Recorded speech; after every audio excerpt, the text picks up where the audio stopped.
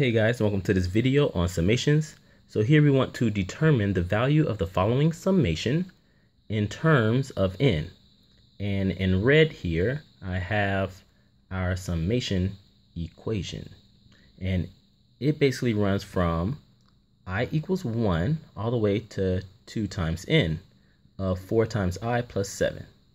So first thing I'm going to do is I'm going to rewrite the equation so we have the summation from i equals 1 all the way to 2 times n of 4 times i plus 7. Okay? So now what I can do is I can split the summations, uh, uh, the summation up.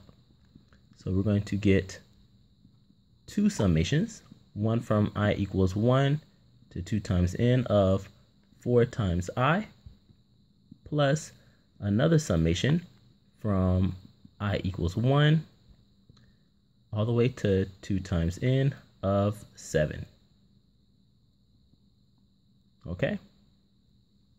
So now what we're going to do is we're going to take out the constants.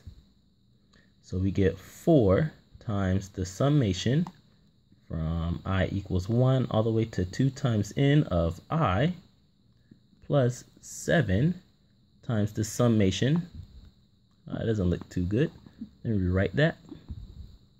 So 7 times the summation from i equals 1 to 2 times n of 1. And that's just because we took out the 7 from that summation up here. Okay? So now we can use some formulas. Um, this here, the summation here, is basically going to equal, well, let me go ahead and put, put a formula there. I'm going to put a little note here for you guys so you can see the formula. And the formula says if we have a summation from i equals 1 to n of i, then uh, this is equal to n times n plus 1 divided by 2. Okay? And we have another one summation from uh, i equals 1 to n of 1 is equal to n. Okay? So these are the two formulas that we're going to use to transform our summations here. So here, we don't have an n. We only have we don't have an n like we do here. We have 2 times n. So this is going to become, we need our 4. So I'm going to say 4 times 2n times 2n plus 1 all divided by 2 okay and I get that from uh, this formula right here.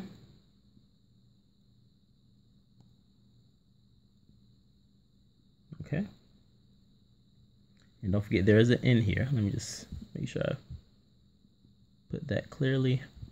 Okay so all I did was substitute 2 times n for n here. Okay, and that's how we got that equation. So next up is this second summation. So we're going to need that 7. So let me say plus, and then we have 7 times, let's see, here we have 2n. Down here we only have n. So we just substitute 2n for the value n here, and we're just going to get 2n. So times 2n. Okay. And now I am going to erase this here.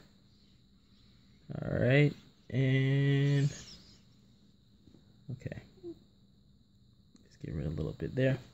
So let's try to simplify this equation over here a little bit more. So now this is equal to, well, 4 times a half there is just 2 so we have 2 times 2n times 2n plus 1 plus 7 times 2n is just 14n. So I'm going to put 14n here. All right. It's looking pretty good so far. So this is equal to um, 4n times 2n plus 1 plus 14n Okay, and this is just equal to 8n squared plus 14n plus, oh, I'm sorry, 8 squared plus 4n, not 14n, and then we're going to add our 14n here. Okay, and of course we can combine these two, uh, 14n and n. So now we get 8n squared plus 18n. And that's our answer. Okay. So thank you guys. I hope you enjoyed this video. I hope you found it helpful. Please leave any questions you have, comments, uh, likes, any concerns, and don't forget to subscribe. And as always, guys, thanks for watching, and I see you all in the next video.